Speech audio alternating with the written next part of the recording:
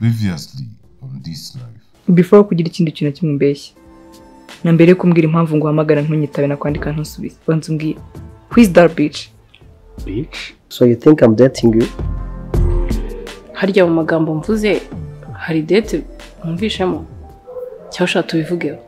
Did this motherfucker call me babe? Wamazira ntoki we? Ibyo biba muri filime hano ntabwo turi gukina filime They tell me that I'm never gonna make it. They want me to do something that could make sense. They hate when I keep dreaming I'll be famous. But I don't give a fuck. I'ma keep ariko se ni gute umukobwa unsuzuguza potential that's deep inside of me. But they hate when you're successful cause they try to be.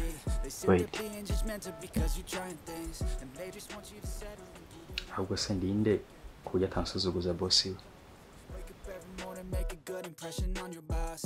Don't do anything that I wouldn't do. And when you're making money, make sure you don't spend it too soon. Fuck that, I'll do what I wanna do. I got a different path from everyone, and that includes you. Who are you to tell me how to live life? In these times, it feels like nobody's right. Yeah, so I'ma figure out what else we succeed, and then invest all of my time into that and proceed. I need whatever the hell could make me happy, and I don't think you have a clue what could that be. They tell me that I'm never gonna make it. They want me to do something that could make sense. They hate when I keep dreaming I'll be famous, but I don't give a fuck. I'ma keep chasing. They tell me that I'm never gonna make it. They want me to do something that could make sense. They hate when I keep dreaming I'll be famous,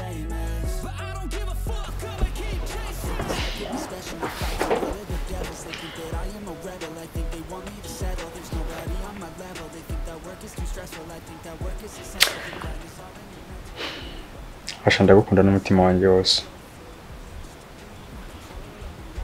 Ariko ntabwo naguhamagara ni ukuri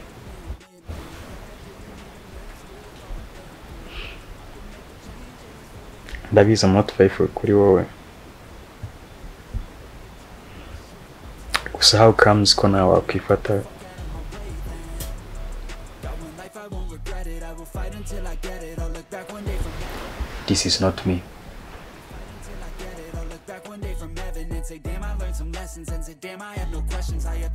every second, and the journey was a blessing, yeah. They tell me that I'm never gonna make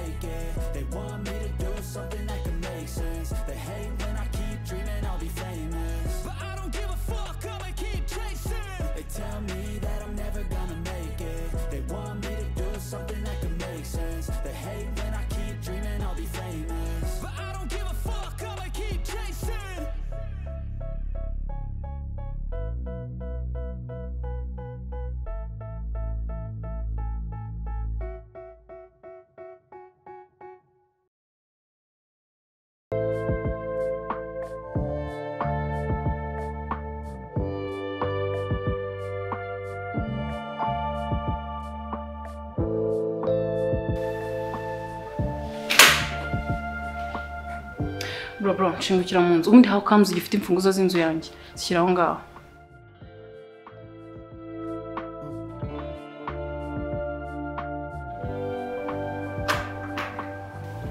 Ngaho nshingukira mu nzu. Basi wampaye. Tibeshye ukazana ibintu byo kumetaho hano. Ngo wampaye amahirwe ya nyuma ngo hear me out bla bla bla bla get the fuck out of my house now. Okay. basi basi mpa amahirwe tuzahurira gahuza umutwe n'ikamyo mani nsohokera hano ntahamagara polisi.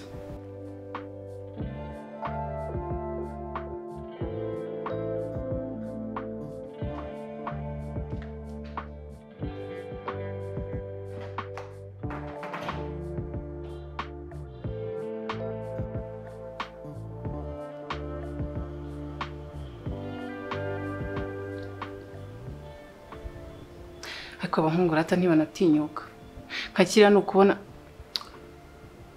Nakoreka ndeke kumutuka nta hantu naba ntandukaniye nawe.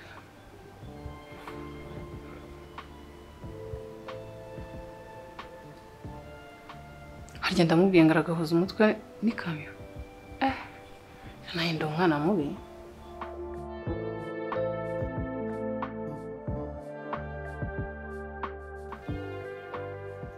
Yego ko kirisito wambambiwe. Ko muhuko mbona wirukanka nkaho watatse igihugu erega ndibana iyo ngiye nta gahunda dufitanye nganishyira mu bwo nteba.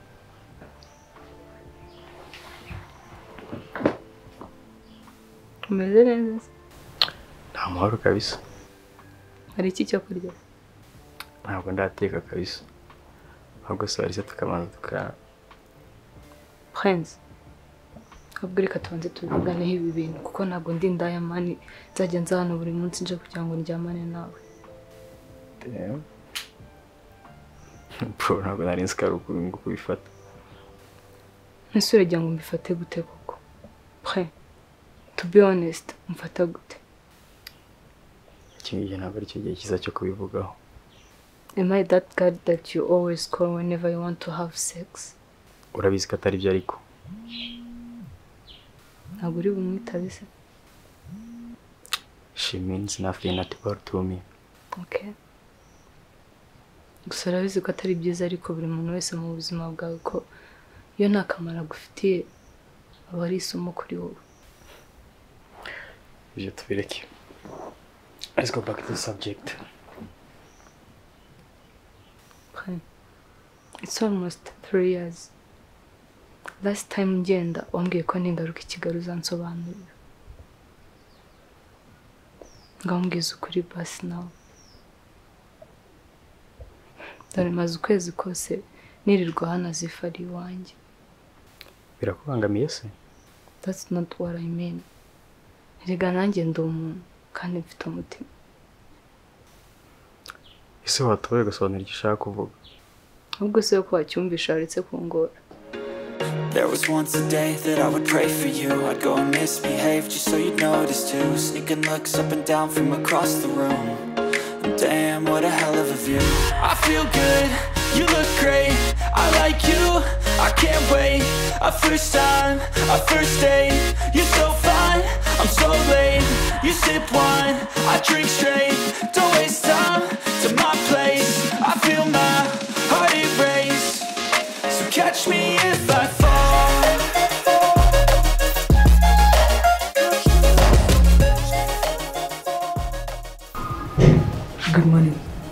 aya ni masaha ziri mu kazi excuse me Eh, aya ni masaha agereye may I please know who is asking get to Ricky's office I'm falling fast, sitting here praying that this night's gonna last. You got it all on tap, I'm loving your vibe, always have your back. We like all the same tracks, listen all night in the sheets all black. Said I'm falling fast, don't remember life before you, that's fact. I feel good, you look great, I like you. I can't Good morning. aya ni masaha ajya mu kazi se I'm so late, you sip wine, I drink straight. Don't waste time to my place. I feel my heart erase. So catch me if I fall. Good morning, Hasha. What's wrong, Jamani? kuri mubonye nanjye niko namubonye Imfunguzo zanjye zanze kugura ofisi yanjye sinzi impamvu. ya yahinduye amaseri y'inzugi zose nanjye ni uko Sinzi impamvu ndi kumva ko hari ikintu cyahindutse hano hantu. I think so too Anyway, where is Rick? Rick amaze like two weeks atamvugisha I don't know where he is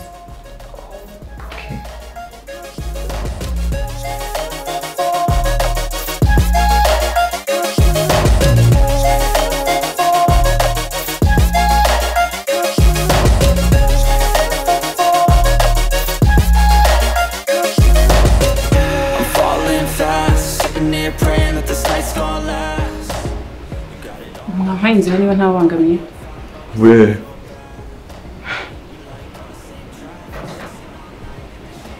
nari mbasabye mwampaye inzira hinjira mu kazi. Ko namaze gukererwa nanjye nabimubajije avuye he ko parikingi iri hariya? Abaturarwanda se twese tugera mu modoka? Now I understand. Niwe njye umukirera mwampaye inzira nkigira mu kazi. Niba nyirikana uzampuka turi ku cyo kirere kazi da fast price So catch me if I fall.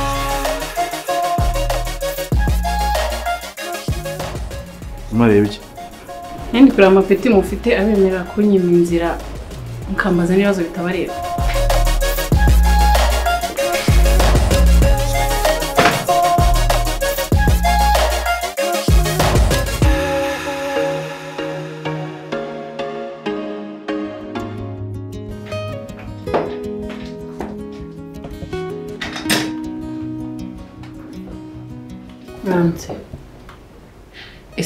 Zanyu namwe zabaye nk'iyanjye? cyane rwose Where is Rick? ese we mujye mubonamo mayisara erega nawe wakabaye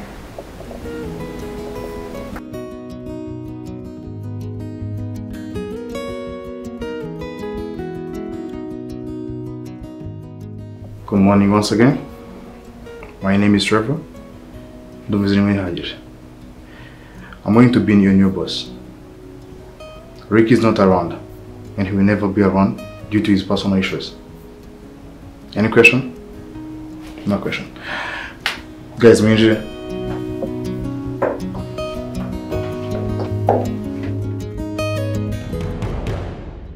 We need Tash. Mugiye kuba. And this beautiful lady, she's called Lorca. Yeah, Lorca. Josh kwa na Lorca in the same office. Ko muje imirimo mugomba kujya mukorera hamwe ikindi kandi icyo nshaka ni ubwumvikane gufashanya not gushihurana. I beg you do not bring your personal issues mu kazi Angeli uhora wikorana mu in musangira office. But still he or she is coming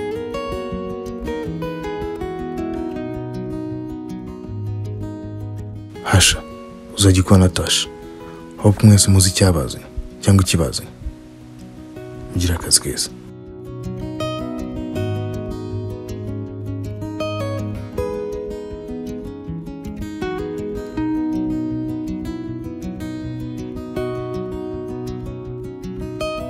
I know ko uri umukobwa ukunda ukuri ndetse it's okay. Ino nimba wumva ko twakomeza ubucuti bwacu gusa nta rukundo rukurimo. I can understand. uri gusobanukirwa ibintu ko bitari n'ukuri Hey, one day umuntu yarambwiye having sex isn't just an act, ahubwo is an attachment. So, if there is no I love you what? ndagukunda hayi ndetse cyane Sinzi impamvu mu mvugo yawe ndi kumvamo but hayi nagukunze even before njye nawe dutangira I love you too, plans. And trust me, maze iminsi myinshi cyane ndashaka kubivugaho. I understand basi bareka tukabigumana only me and you And you proud of us. no no no ntabwo ari ibyo ntabwo urabona nta kintu ndageraho ndacyishakisha bitantunze nanjye ubwanjye Ese ndi mubi. ibyo bivuye kandi Ese ukeka ko nta wundi musore wankunda muri uru rwanda rwa pike? Akaba ariyo mpamvu nagusariye. wabisobanuye nabi icyo nashaka kukubwira Erega Prince, ntabwo nsaba ibya mirenge. Ndakeka ko kuva twamenyana nta munsi n'umwe ndagusaba n'igiceri cy'icumi. So that means nshaka wowe ntabwo nshaka ibyawe. I understand basi waretse tukabiha umurongo tukabigira icyo kubitekerezaho Ese Prince, tuzabiha umurongo kugeza ryari?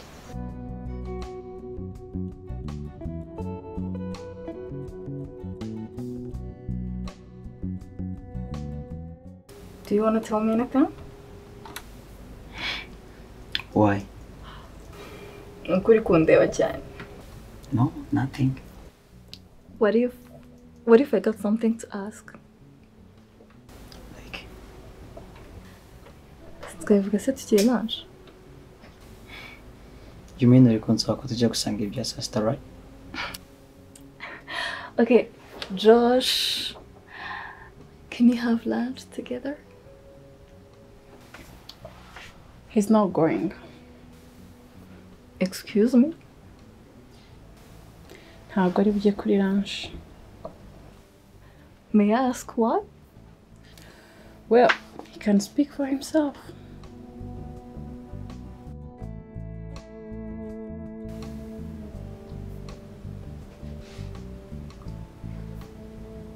It's just that I don't feel like eating. ahubwo Laure twajyanye kuri ranches and you see you're new here. Maybe twanamenyana byimbitse Yeah, true.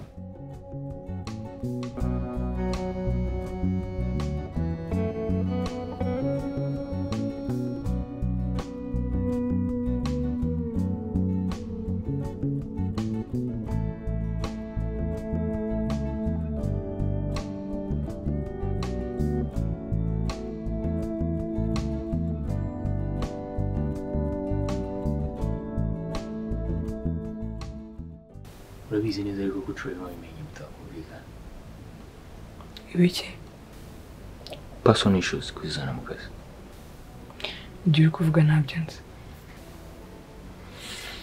umaze amasaha menshi umeze gutyo utanyeganyega uri kureba ahantu hamwe nta kintu na kimwe uri gukora wasanga buriya uko unaniwe cyane kuko nta kindi kibazo mfite pe maybe uri umukobwa utajya upfa kwizera umuntu wese ubonye ngo umubwire ibyawe ndabyumva cyane. Hari ikibazo tujyanye gusangira ranje? Byari byiza ariko yose ko ugiye kunyima ikintu cya mbere. Usabye okay. But I will pay for my bill urabizi ariko ko ibyo ntabyemera ndetse nta muntu wabyemera ubaho kereka abaye atari umusore. Now you can sit. Thank you, sir. Pasha, in my office. Be waiting for you. nawe wakwigendera ko ntabwo nzi umwanya ndi bumarane nawe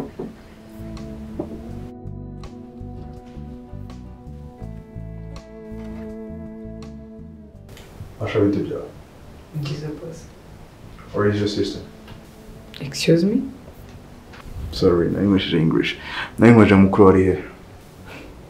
sir I clearly hard would ask it but twibaza ni gute ibya mukuru wanjye biza mu kazi kanjye and the next batubwiye ko ibibazo byacu bwite bidakwiye kuza mu kazi so ni gute ibyo mu rugo bije mu kazi Wanza ukansugira ngo se? Hanyuma ukaza kumbaza ibya nyuma. Sir, I say this with all due respect. My personal issues and my sister's will never be part of my job. The rest of my checked, I was the one of this company. Not you. Yep. Ibyo nta cyabihindura. Ariko nanone ntibikwiyeho ku buzima bwanjye bwite ntawe ugomba guhurira n'akazi.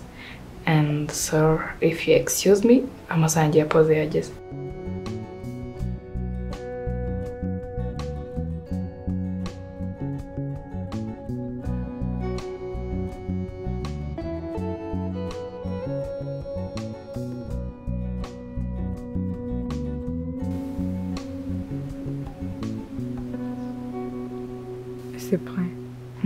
Koko kugira ngo wemere kumbwiza ukuri?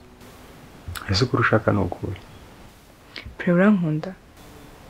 ariko mbwiza ukuri urashaka nzishyireho tatuwaje y'izina ryawe cyangwa se isura yawe Preva mu mikino mwana.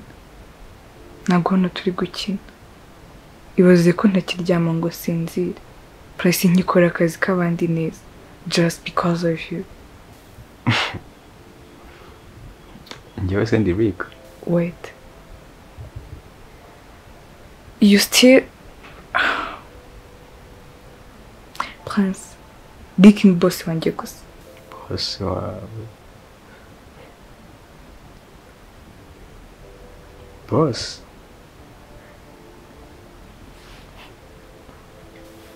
ese aba bose b'abandi bantu bose bajya mu gituza cy'abakozi babo and professionalism Ntabwo yigeze ndyamaho Prince. Ni njye wari umuryamyeho. Kuko wari wambabaje cyane. Beside being my boss, he's my best friend.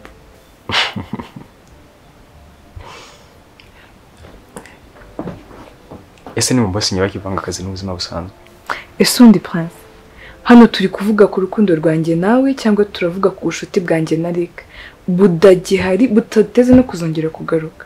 kankorohereza rero mukondo agahinda kose ufite no kumva utengushwe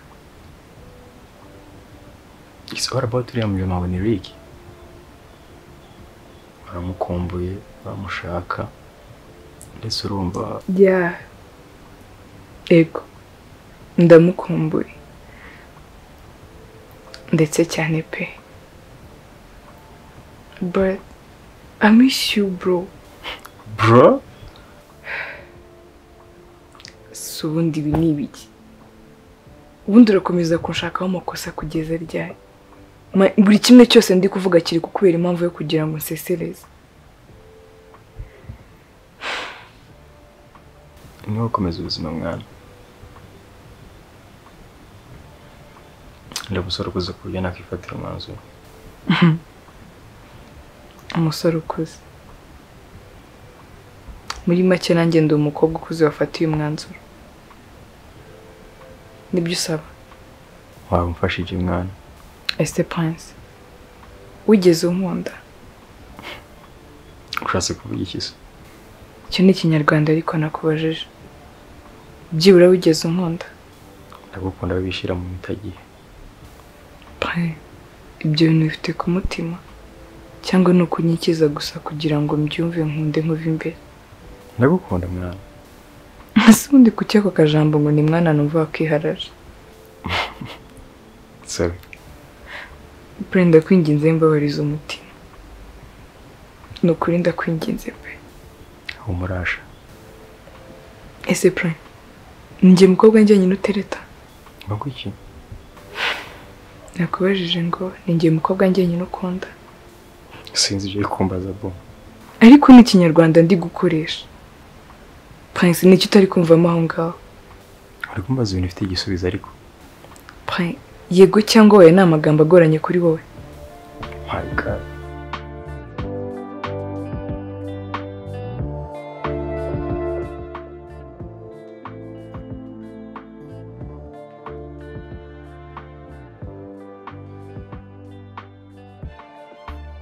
Si nk'abayoboye ko gukoreshereza telefone kuri sheje ari bibi ndetse na cyane. Wiriwe neza nawe. Ariko ntukigire umuzungu yumvishe ko mba nkotuye mba ngomba nkabanza kugusuhuza. Ese ufite ikihe kibazo? Shaho se ko nikoreye ishyano rya byose ngo uture nawe wumve se. Uri bikuremereye se ndi yesu. Ariko se buriya nk'iriya mitwe y'abakirisitu ngo turayezu ibikuremereye arakumva ku ruhure. Ziriya sitafu zirakora. Nkeka ko ari we muntu nzi wa mbere. Ko ari ikintu cyakanga akakireka wabimuteye se byakanga ukagumana ibyawe shaho se yantuye kari agahinda ngo ni tashi cyangwa trevo tashi we ndamuzi. Hama se treve ese ubundi Eric ari nkawe yose we? Rick harya si bosi wawe. Ese bishoboka gute ko yacomoka nta n'ikintu na kimwe avuze?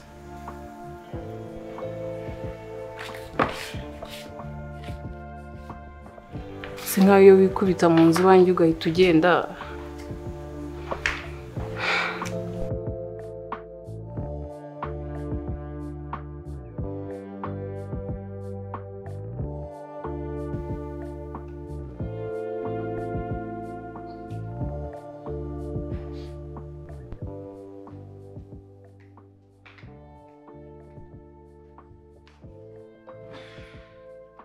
Tutirengagije se ngo tunabeshyanye wambwira ikintu kiguhangayikishije harya wowe warayimbwiye eee hano se turi muri mpango ye erega nuko uba. Shavuga ibyo uvuga mani kuva mama yanyitanije n'ubwa mbere ngiye kujya mu kazi nzindutse. Ni n'ubwa mbere ugiye kungira ikimara mu buzima bwanjye. Ariko ni ukuri nta kibazo mfite. Wakicara we. Kuva ryari se mbyuka nkasanga urimo izashusho sikiwe ndanavugisha. Social media. No breakfast nta n'amasuku none ngo uranduye mbese nawe mbimenye it's about prince niba ari iby'abahungu tubonane ku mugoroba.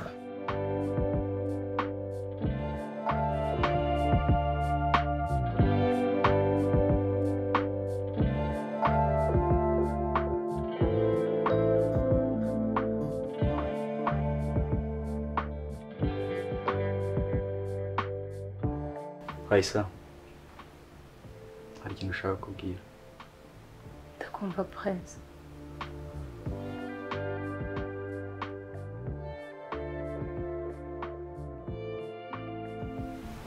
sinzi wenda niba uri bubyemere gusa nkubwije ukuri umutima wanjye wari ugushaka everyday wari ukunyutsa buri munsi urabizi ko mukunda ariko prince bimaranye igihe kinini cyane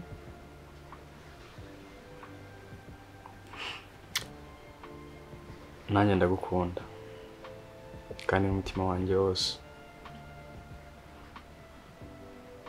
Ndahamya nashidikanya ko nta n'undi muntu nakubangikanya nawe. Ese ubwo ufite n'ubwiki the only fear nagira ni ubwo gukubura ariko ubu ngubu ntabwo mfite pe. Ndagukunda urabizi. Kukwanga byangora you too beautiful.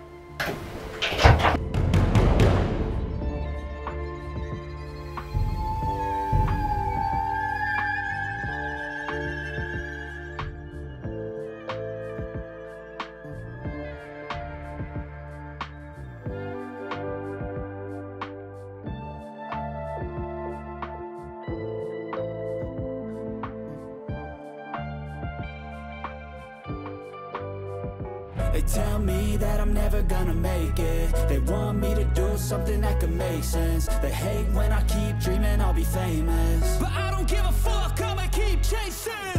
I got all this potential that's deep inside of me. But they hate when you're successful cause they try to be. They sit there being judgmental because you're trying things. And they just want you to settle and do the right thing So get a good job, don't slack off. Wake up every morning, make a good impression on your boss. Don't do anything that I wouldn't do. And when you're making money, make sure you don't spend it too soon. Fuck that, I'll do what I wanna do. I got a different path from everyone and that includes you. Who are you to tell me how to live life? In these times it feels like nobody's right, yeah. So I'ma figure out what else we succeed And then invest all of my time into that and proceed. I need whatever the hell could make me happy